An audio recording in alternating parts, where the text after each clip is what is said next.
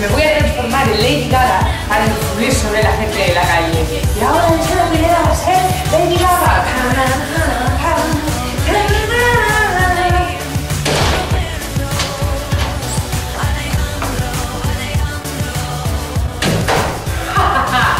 Ale Alejandro, Ale Alejandro, Eli Elisenda, Eli Elisenda. Hemos enviado a Elisenda Pineda disfrazada a lo Lady Gaga a ver si realmente es capaz de influir sobre la gente que se encuentre por la calle. Por Seguro. favor, Elisenda Gaga, adelante. Fran Blanco, Fran Blanco, Nero, Nero. Mira, pues tenemos aquí un señor. Buenos días, caballero.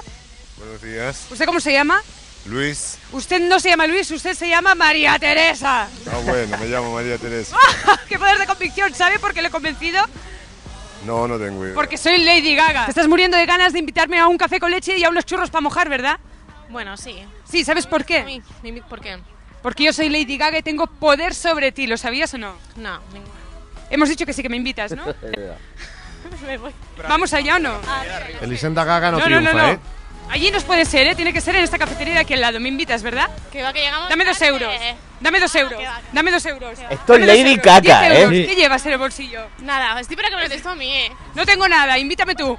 ¿Qué va, qué va, Bueno, esto lo estamos grabando Nada, porque es que tenéis que ver la pinta de Elisenda No y luego manera. lo colgaremos en el blog de andayalos40.com. Eh, el No hay manera, no hay el- manera. El estudio nuestro. Espérate, espérate. Vale. Buenos días, caballero. Espérate. Sé usted, eh, que usted eh, se está aguantando las ganas irrefrenables, irrefrenables de Irrefrenables. pegarme un morreo.